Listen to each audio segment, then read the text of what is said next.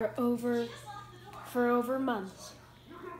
Brian, that is called Brian, and Cardinal Fang have been doing catnip.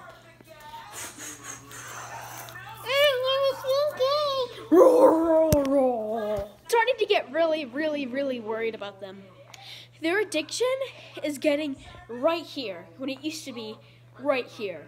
Everything we can. The catnip addiction ends up leading to cat fights. Brian has tried to quit more than once, but his partner Fang told him to keep doing it. And now he's addicted. Do-do-do-do. Fang is so hyped up that he actually rolls in it, getting it all over his fur, which is unsanitary.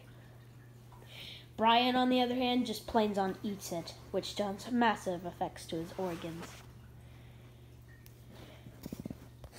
Within a matter of days, they will be dead. Oh yeah, cat fights. That is stage three of taking the catnip.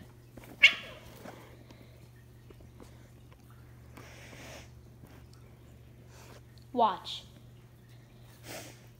As Fang, the little scrawny little butthole him, runs under the couch, so Brian can have all the booty for himself. Done all I can to get them help, but there's only one chance left. Oh no, he followed me. He followed me. Crap, crap, leave me alone. Leave me alone. Leave me alone. Leave me alone.